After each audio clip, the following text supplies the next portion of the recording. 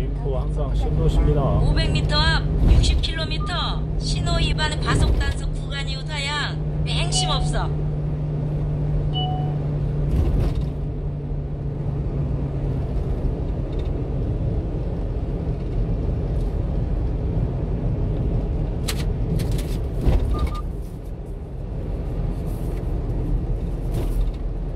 아?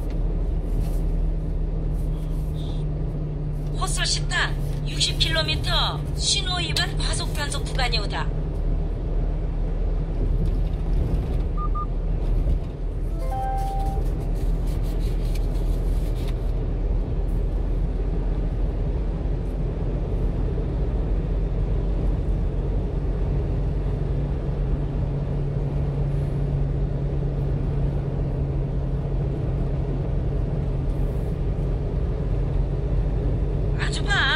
아주방 1km 앞 60km 신호 위반 과속 단속 구간이 오다.